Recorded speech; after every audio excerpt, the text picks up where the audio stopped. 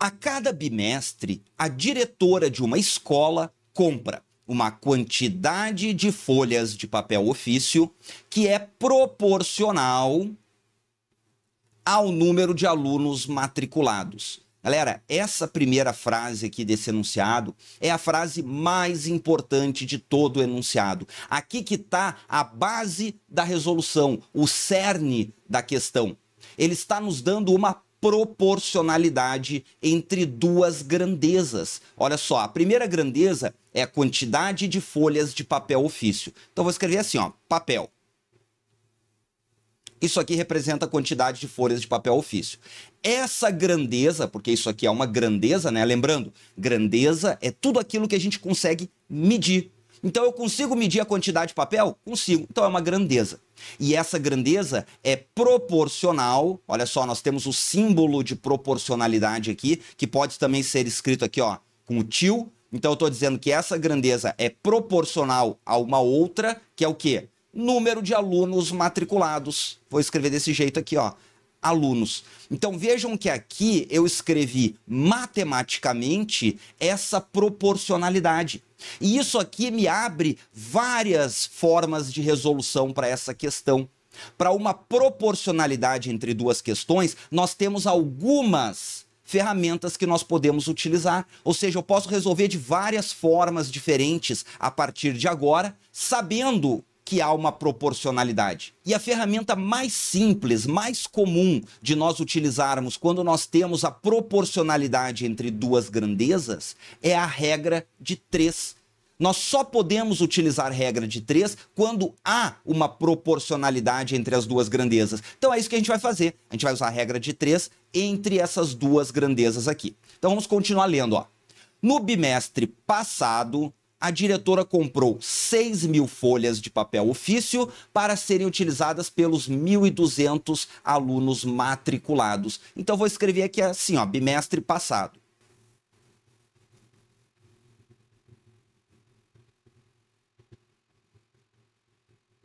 E agora ele vai dizer o seguinte, ó, nesse bimestre e vai nos dar informações de novo. Então, por isso que eu estou montando essa tabelinha aqui, ó. Alguns alunos cancelaram as suas matrículas e a escola tem agora 1.150 alunos. Então botei aqui, ah não, botei no lugar de folhas, está errado, ó, é alunos, é 1.150. E a diretora só poderá gastar 220 reais nessa compra. Para aí, ó. Então vejam que nesse bimestre não foi dito quantas folhas nós iremos comprar.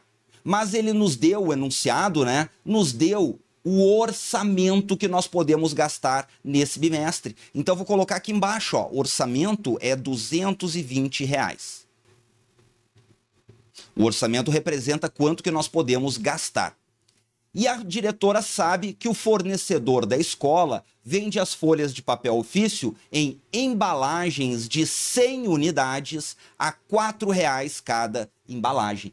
Então vejam, nós não podemos comprar uma quantidade de folhas qualquer. Nós só podemos comprar múltiplos de 100, porque nós só compramos embalagens e cada embalagem tem 100 unidades. Então vou botar essa informação aqui do lado também. Ó, cada embalagem tem 100 folhas e custa R$ reais.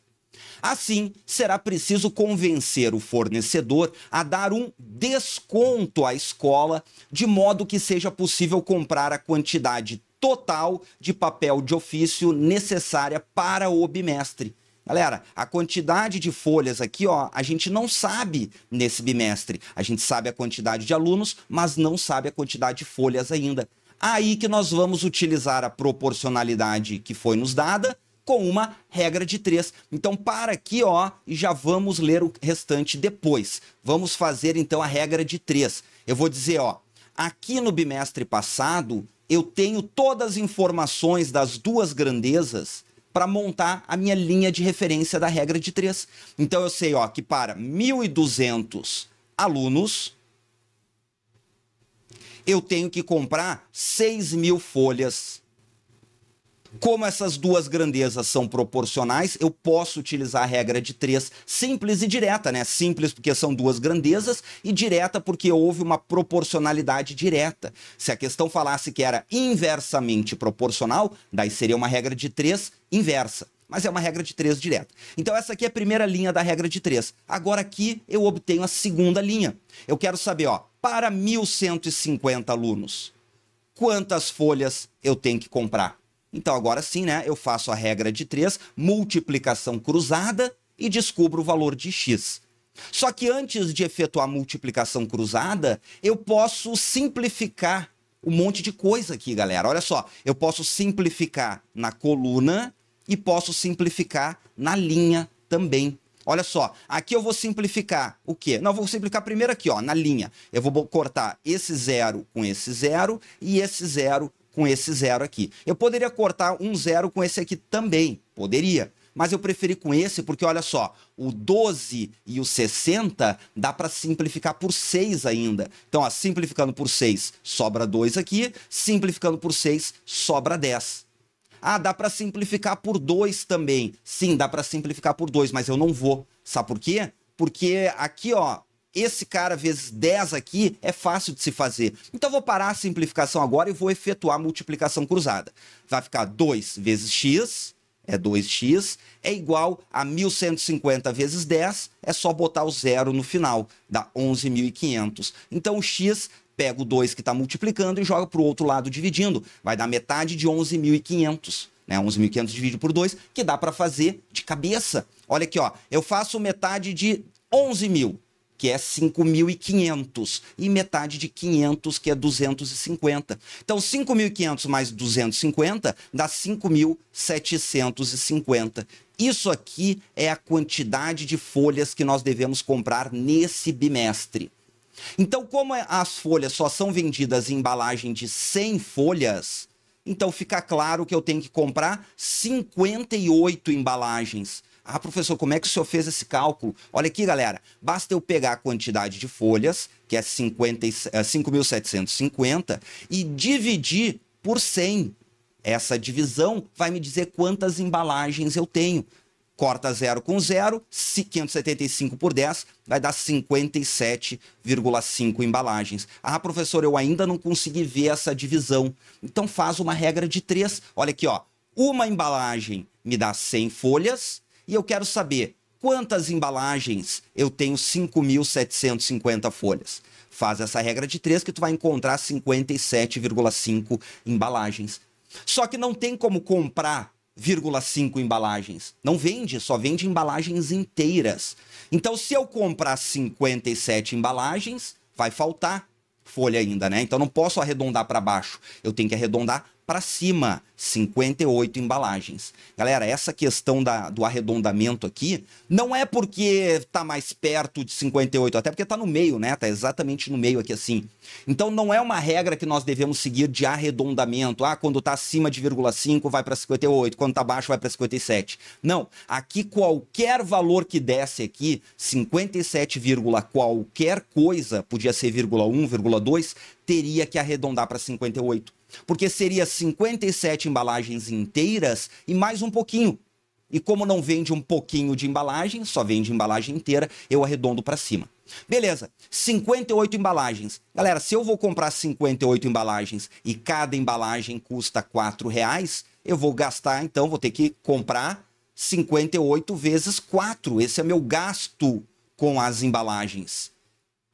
Fazendo essa multiplicação, vamos lá, 4 vezes 8 vai dar 32, sobe 3. 4 vezes 5 dá 20, mais 3 dá 23. Então custa 232 reais. Só que nós não temos esse dinheiro. Nós temos só 220 reais. Foi dito que deverá ser convencido o fornecedor a dar um desconto para conseguir gastar só o orçamento, mesmo sendo mais caro. E a questão pergunta, ó, o desconto necessário no preço final da compra em porcentagem pertence a qual intervalo? Então vamos lá, ó. Se eu só tenho 220 reais, o meu desconto é 12 reais, não é? Ó, 232 menos 220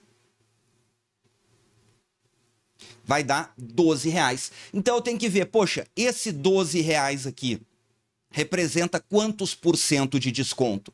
Então vamos lá, a gente faz regra de 3 de novo. Vejam só a questãozinha cheia de regra de 3 para lá e para cá. Eu vou botar aqui assim, ó.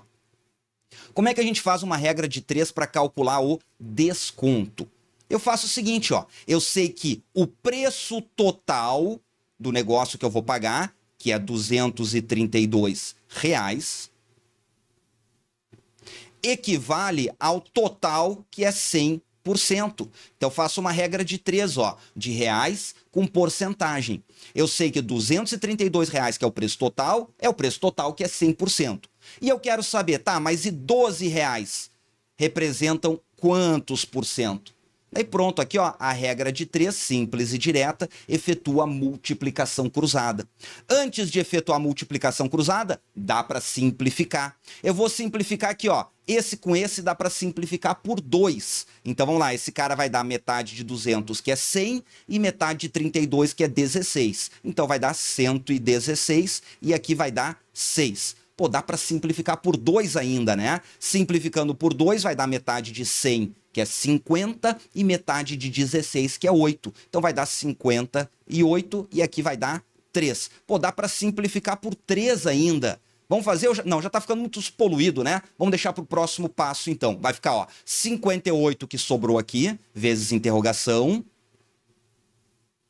é igual a 3 vezes 100, que é 300. Então a interrogação é 300 dividido por 58. Já vou fazer aqui assim, ó.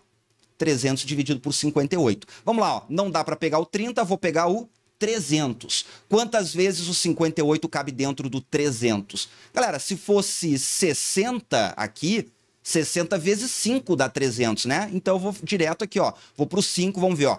5 vezes 50, vou pegar esse aqui, ó, 5 vezes 50 vai dar 250 e 5 vezes 8 dá 40. 250 mais 40 dá 290. É interessante a gente fazer isso aqui de cabeça, né? Vamos lá, 300 menos 290 dá 10. Daí eu vou lá, agora não tem mais ninguém para baixar, acrescento a vírgula e boto um zero aqui assim. Quantas vezes o 58 cabe dentro do 100? Cabe uma vez. Uma vez 58 vai dar 58 e sobra 42. Já dá para parar aqui, ó. Esse 5,1, que é o resultado dessa coluna, representa exatamente a porcentagem de desconto que eu devo pedir para o para o que mesmo? Para o fornecedor. Então vamos lá, 5,1 está entre 3,5 e 4, né? Isso aqui é um intervalo, ó, um intervalo aberto de 3,5 até 4. Não está nesse intervalo, está nesse aqui, ó, gabarito letra alfa.